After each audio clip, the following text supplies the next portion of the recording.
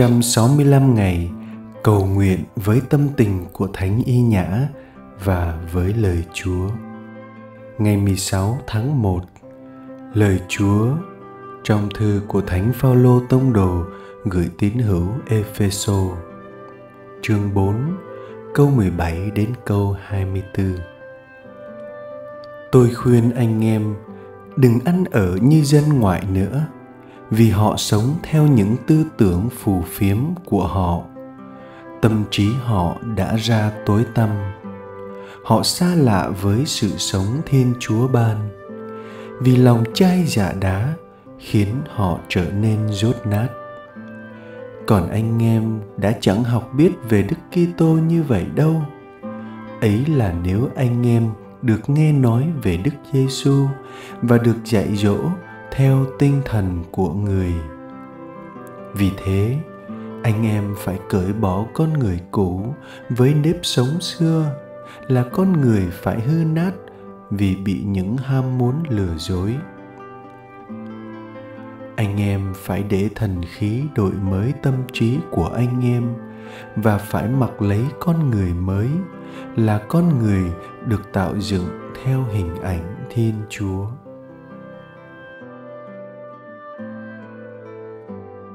Lời thánh y nhã.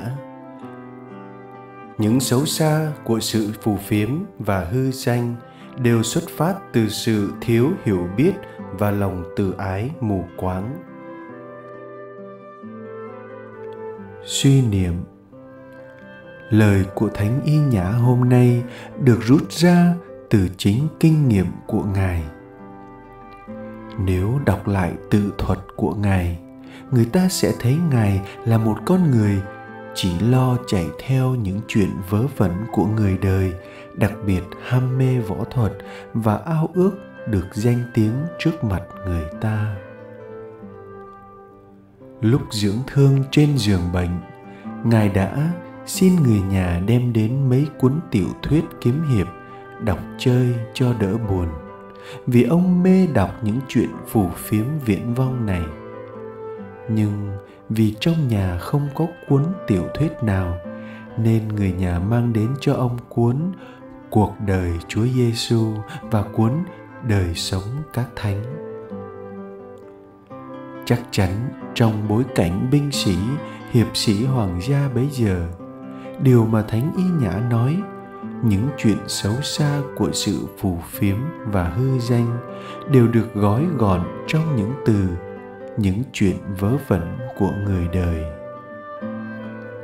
Đó cũng là nếp sống làm cho con người phải hư nát vì bị những ham muốn lừa dối mà thánh phaolô nói trong thư gửi các tín hữu ở epheso chính thiên chúa đã mở mắt linh hồn và soi sáng cho thánh y nhã thấy rằng những niềm vui có được khi theo đuổi sự phù phiếm và hư danh chỉ là giả tạo và tạm thời. Nghĩa là chỉ kéo dài trong một thời gian ngắn và sau thời gian đó, trong tâm hồn chỉ còn lại sự trống rỗng và buồn chán.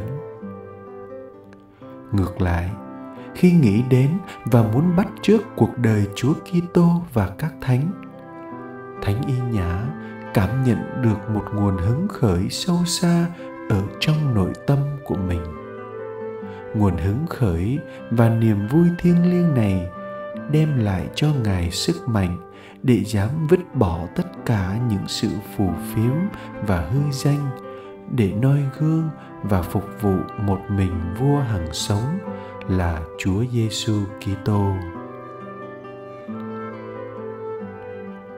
Hồn sống trong ngày xin chúa ban cho tôi sức mạnh để tôi dứt bỏ hoàn toàn những sự phù phiếm và tìm vinh danh chính mình để sống một cuộc đời mới theo gương Chúa Giêsu, đấng là đường, là sự thật và là sự sống.